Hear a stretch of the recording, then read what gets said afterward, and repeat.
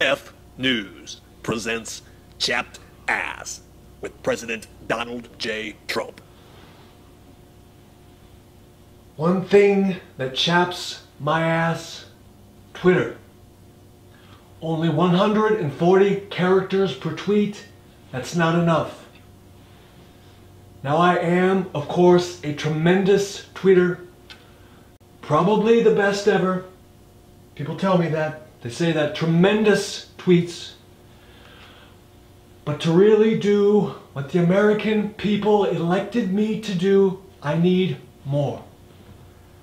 Many, many more letters, many, many more numbers, more of those little emojo things. I really like the rainbow ones.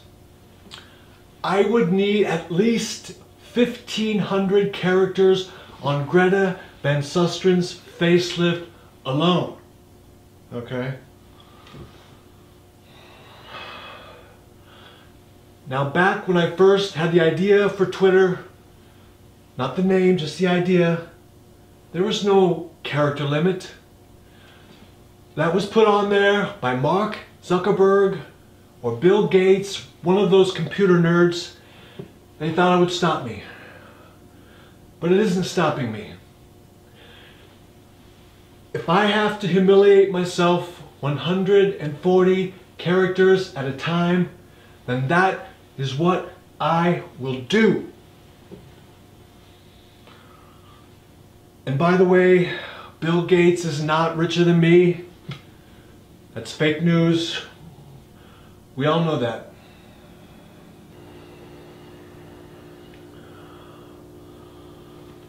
Another thing that chaps my ass, ISIS claiming responsibility for every single bad thing that happens anywhere in the world.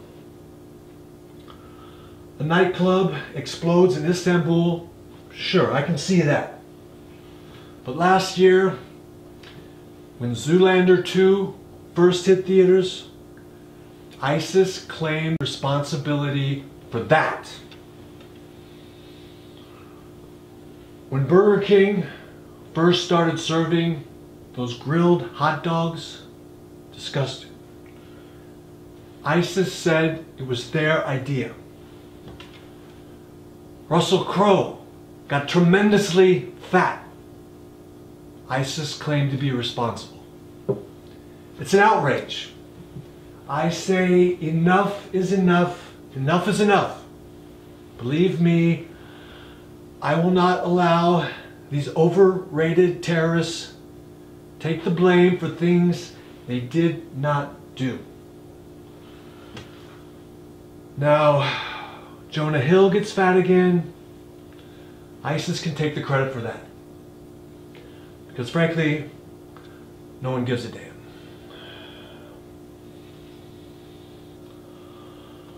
One more thing that chaps my ass. My very own Republican Party refusing to be more open-minded on this whole LGTV, BLT, sex identity thing. What I've come to realize is that trapped inside the body of this strong, smart, tremendously virile white man is a young, attractive, lower middle class, black woman who chooses to go by the name Consuela Rodriguez. Do we have a few shots of Consuela?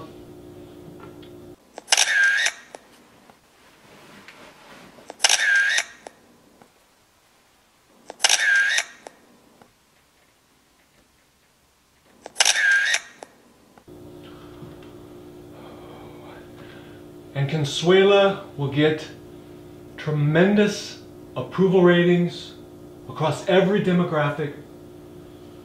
And she will be allowed to use every single restroom anywhere in this great country.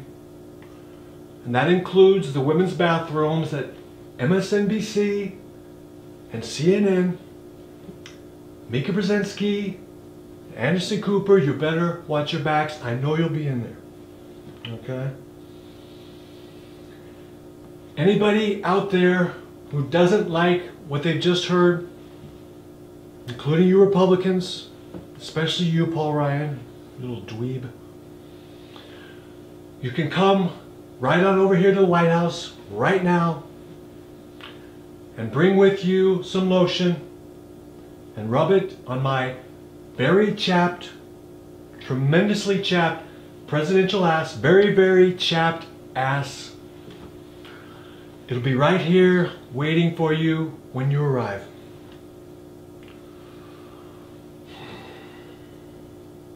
Thank you, and God bless America.